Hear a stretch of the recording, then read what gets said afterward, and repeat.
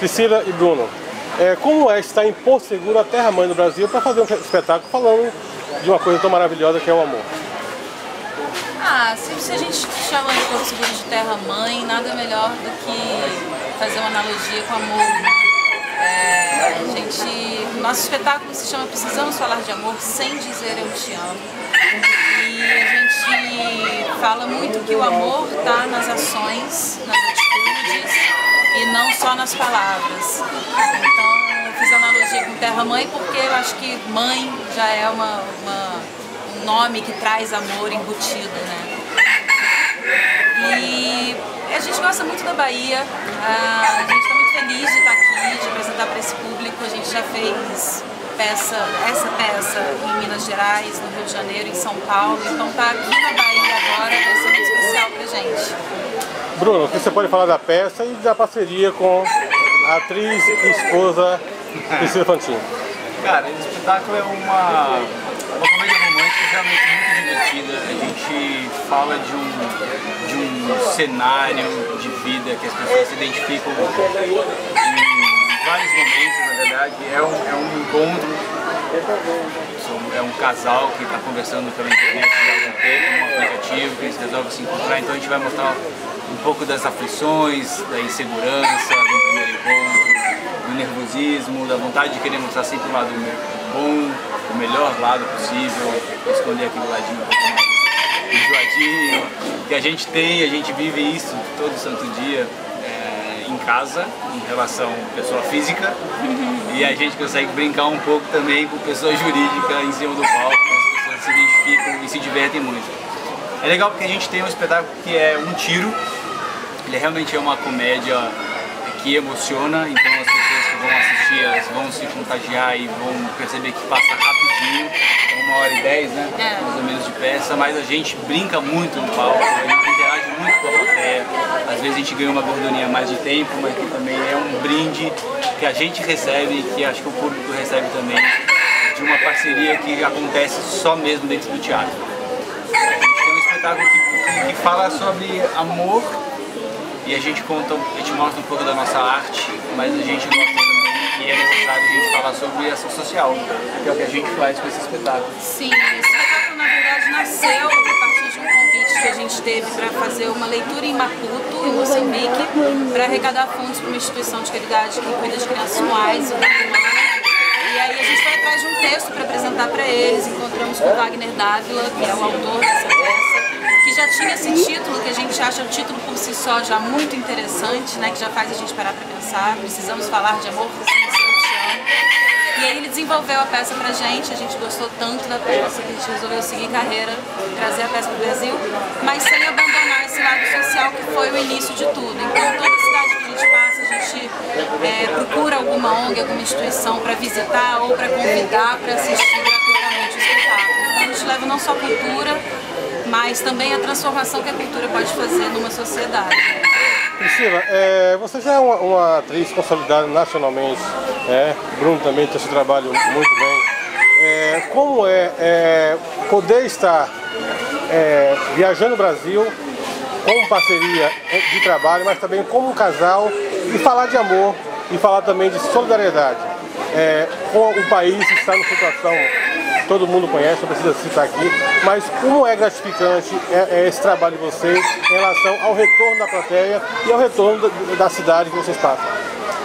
É, Eu acho que não só o país está numa situação delicada, como a própria humanidade, né? O planeta está numa situação delicada, assim. Estamos avançamos de forma tal que muitas relações estão é, difíceis, né? Tem muita raiva, muita guerra, é, muita falta de respeito. Então a gente falar de amor e, e trazer uma questão de, de solidariedade é, talvez seja resgatar a humanidade que foi se perdendo com o tempo. Acho que não tem como você falar de amor sem falar eu te amo se você não enxergar o próximo. Enxergar o próximo é realmente decifrar as dificuldades, momento de vida, se colocar no lugar do outro, seja num, num- ambiente pequeno, momentâneo, como dentro de um elevador, como realmente quando você vai visitar intimamente a necessidade do outro, quando o outro abre a casa dele para você, que é uma coisa realmente muito bonita que acontece com a gente. Então assim, é, o Precisamos Falar de Amor, a gente não consegue realmente passar a mensagem do espetáculo se a gente não vivenciar ele. E a gente vivencia ele desde o momento que a gente se conheceu. Então é fácil sair do, de casa, do âmbito pessoal, e continuar brilhando porque é uma escolha, a gente está mais tempo perto, a gente vivencia o nosso amor e a gente está completo para a gente poder realmente dividir o que a gente sente para aqueles que estão precisando também.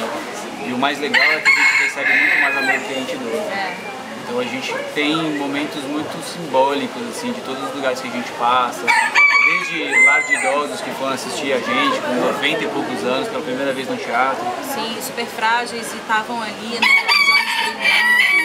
É, os, é, a galera do, da reabilitação também recebeu essa química, que no dia seguinte a gente foi visitá-los e eles estavam, sabiam trechos da peça. É, a gente, pra gente não tem, não dá para mensurar o que isso significa, a gente está levando o que a gente tem, a gente está doando, dando, passando o que a gente tem e o que a gente recebe realmente é muito gratificante. Bruno, finalizando é, a sua participação, é, você falou de Moçambique onde começou. Foi um, um, um texto preparado para levar para uma comunidade bem carente. Tá? É, e você também falou comigo agora há pouco em relação a levar comunidades mais carentes, associações, pessoas que nunca foi, como você acabou de falar agora, ao teatro. Como é isso ao final do espetáculo, você acabar o espetáculo, receber aquele aplauso da plateia e saber que muita gente, como você falou agora há pouco, que não participou nenhuma vez no teatro, está ali assistindo e batendo um papo para vocês? Cara, fazer teatro é uma coisa é, é, é indescritível, de fato, assim, a magia e, e, a energia que acontece dentro daquele lugar, assim, é... é uma troca muito grande, né?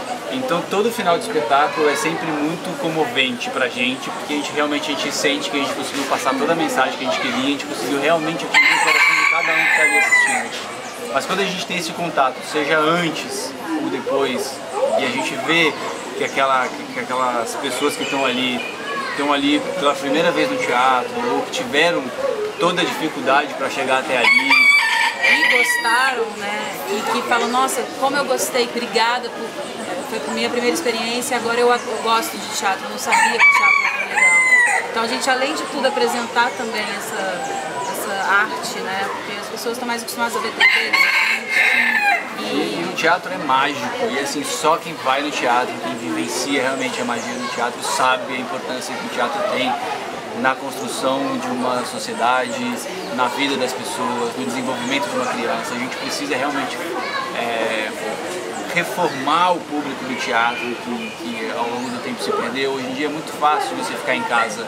Você tem seriado, você tem TV a cabo, enfim, você tem outras, outros tipos de entretenimento que são muito mais fáceis. Celular mesmo, computador.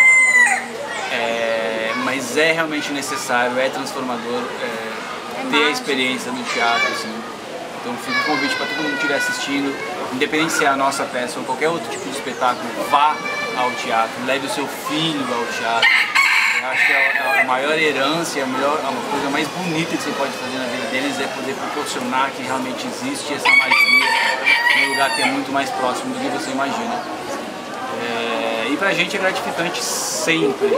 Eu acho que a gente não consegue descrever real a sensação de estar fazendo espetáculo para essas pessoas que têm essas dificuldades de estar ali comemorando e vibrando com a gente. É, a gente Mas vê é realmente... o olhar de esperança, né, em gente que já não tem mais, tem, não dá para receber. É ímpar. Priscila, para finalizar, é, o que, que você poderia falar para o público de Porto Seguro, a Terra Mãe do Brasil, é, para motivar para que ele venha para o espetáculo, tá? E de, é, já antecipando, obrigado por estar em Porto Seguro, obrigado por receber nossa equipe e sucesso tanto nesse espetáculo como na vida e como nos outros trabalhos ao longo do, do ano. Muito obrigada, obrigada por esse espaço. É... Bom, primeiro, não vou levar o galo pro teatro. Vocês podem esperar que não vai ter o galo no teatro. Olha, ele tá louco pra participar. Ele não vai rolar. Não vai rolar. de Minas. Eu tô de olho nos ali. Mas é, eu acho que o público vai se sentir muito cúmplice dos personagens. A gente, desde o início da peça, como é um primeiro encontro, e a gente começa cada um na sua casa e logo se encontra, quando está cada um se arrumando para ver o outro, a gente divide com o público o que a gente pensa. Então, depois que a gente está junto, já contracenando, eu falo para o público, público alguma coisa sobre ele que não é o que eu vou dizer para ele em cena. Então, o público se sente realmente cúmplice de cada um dos personagens, além de se identificar muito com as situações e com as inseguranças deles. Então, assim, vocês que vão estar tá lá assistindo, vocês vão estar tá dentro da peça com a gente. E em todos os lugares que a gente foi, diferentes públicos, diferentes estados, diferentes culturas, todos se divertiram muito.